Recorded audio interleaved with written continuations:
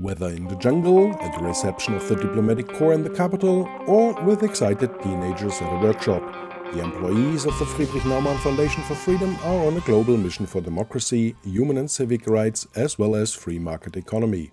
They stand for rule of law, good governance, and peaceful conflict management. Thereby, the women and men of the Foundation for Freedom work oftentimes under difficult and sometimes even dangerous conditions. In Asia, the Foundation is represented by two regional and 10 country offices. Depending on the situation and strategy, different core areas are defined for each of them. Four decades uh, of this time, we have been active in South Asia with programs supporting liberal democracy, civil liberties, human rights, uh, international cooperation, and uh, also intra-regional cooperation. And all our projects are conducted in close cooperation with our local partners.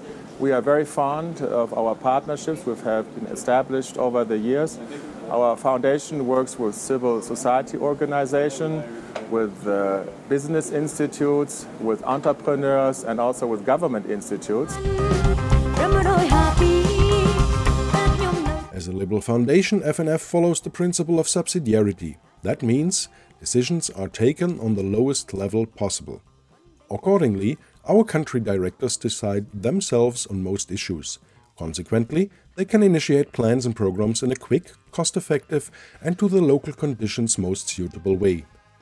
The regional directors supervise and accompany them and furthermore steer their respective regional projects. Our work in this region encompasses a really broad spectrum of activities. At the regional level, we work with a network of democratic and liberal political parties on strengthening capacity building of political elites, of professionalizing and democratizing the work of political parties. We work with a network of human rights organizations and activists to strengthen the human rights mechanism in the nation combined ASEAN and we work with think tanks and academicians on the topic of economic freedom in Asia to explore ways to enhance economic freedom to strengthen the dynamic market economies of the area. A small team in our head office in Potsdam, adjacent to Germany's capital Berlin, at the lovely lake named Griebnitzsee, supports their engagement. Due to the large decision-making power on project level, the Asia and Human Rights Department looks rather minimalistic, or in other terms, is practicing lean management. Here, project applications are worked upon, administrative questions solved and reports written. Additionally, the often thrilling reports on actual developments in Asia, the background analysis and the semi-annual magazine Global und Liberal, as well as the Focus Human Rights are polished before they are mailed for free to subscribers. On top of that, the Asia and Human Rights Department serves also as an ambassador for the outstanding activities in Asia and in the field of human rights. The Now Men and Now Women engage especially for human and civic rights. Thus, the protagonists of liberalism are active and contributing members of the German Institute for Human Rights and the Forum Human Rights in Germany.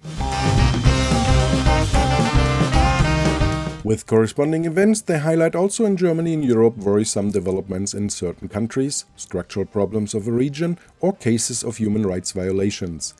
The Asia and Human Rights Department cooperates with other organizations and individuals in order to mitigate, to hamper or to solve them. According to the respective target audience, the department facilitates a transfer of knowledge from abroad to Germany and vice versa. Consequently, also we in Germany can benefit from good approaches, solutions and impulses. Eventually Asia is characterized by dynamics and innovations, qualities which connect us and thereby bridge whatever separates us. And very important, it's also international project work because uh, we believe that many of the projects and problems confronting mankind today cannot be solved locally, so it makes sense to discuss these on an international context.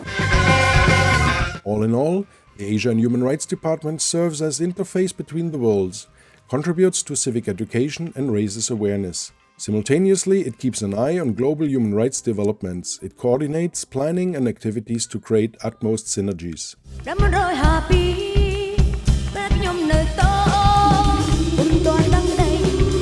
The small team consists of extremely engaged members who are desperate to contribute to an even more effective program work in our project countries. Besides the South Asia and political scientist Ruben Dieckhoff, responsible for South Asia and human rights, sits Wolfgang Heinze, a studied political scientist dealing with Southeast and East Asia.